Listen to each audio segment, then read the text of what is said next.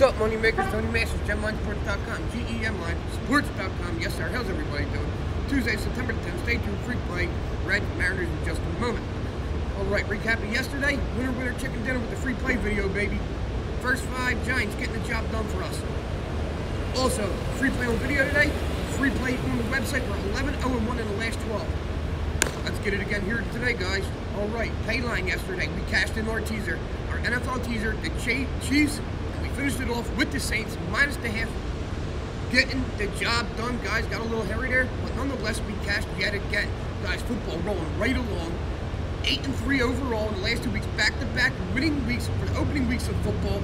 Don't miss out. One week, 50 bucks. Let's hammer the books together, guys. Somebody emailed me, just brought this to my attention.